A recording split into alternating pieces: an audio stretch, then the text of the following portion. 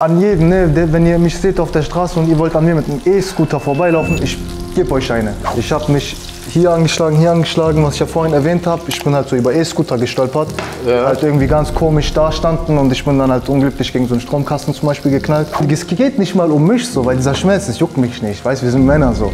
Aber wenn ich dann zu meiner Mutter gehe und die sieht dann, hier hast du eine Verletzung, hier hast du eine Verletzung, das macht die kaputt so.